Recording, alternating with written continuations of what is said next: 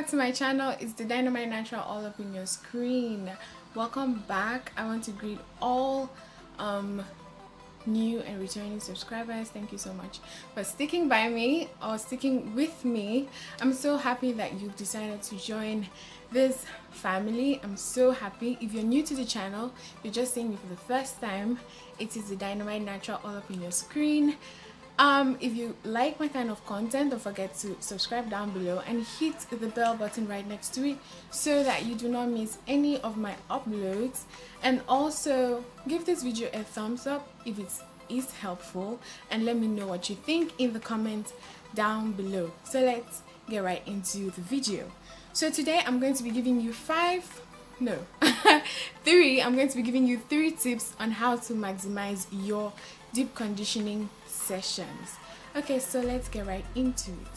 So um the first tip i'm going to be giving you is to apply heat. So when you when you apply your deep conditioner deep conditioner on your hair you don't just apply the deep conditioner and rinse it out. You're just wasting the product.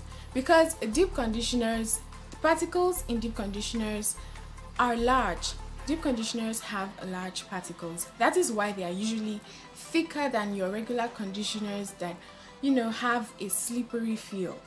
So deep conditioners need to be able to penetrate your hair cut cuticles, especially if you are a low porosity natural. If you're a low porosity natural, you know that your cuticles are tightly packed and those deep conditioners just sitting on your hair like that cannot penetrate and it is it will just be a waste if you um, just apply it and leave. So you need to apply heat to your hair to open up your cuticles so that the deep conditioners can penetrate into your hair cuticle and nourish your hair. So how do I mean by apply heat? You can apply heat by sitting under the hooded dryer, under steamers, or if you're like me that doesn't like um, hooded dryers. I don't like i don't like hooded dryers. So if you're like me who don't, who doesn't like um, hooded dryers you can do it with a very tried and true trusted tried and true and trusted method called body heat. What is body heat exactly? So you apply the deep conditioner on your head and you use a plastic bag or a shower cap or a plastic cap. Cover your hair with the plastic bag or the shower cap and then allow your body heat to deep condition your hair. By the time you tie your hair with the plastic bag, your body will generate heat. If you've done this before, you will notice that after some time, your hair begins to feel warm.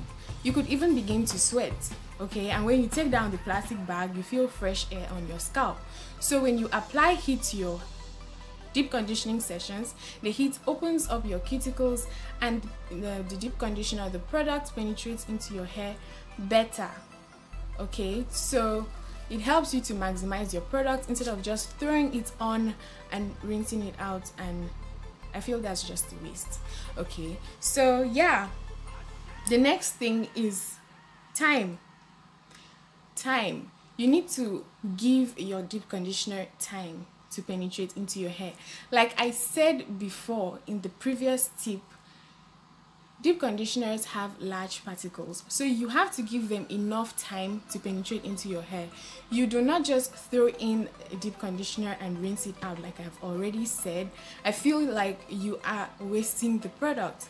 So you apply deep conditioner on your head apply it and give it time to penetrate into your hair better and nourish your hair better when you apply time what how do you apply time? You leave it on your hair for a number of minutes probably from 20 minutes to 30 minutes or probably 45 minutes or one hour. I like to do one hour so you choose how long you want your hair your deep conditioner to stay on your hair but you need to give it time.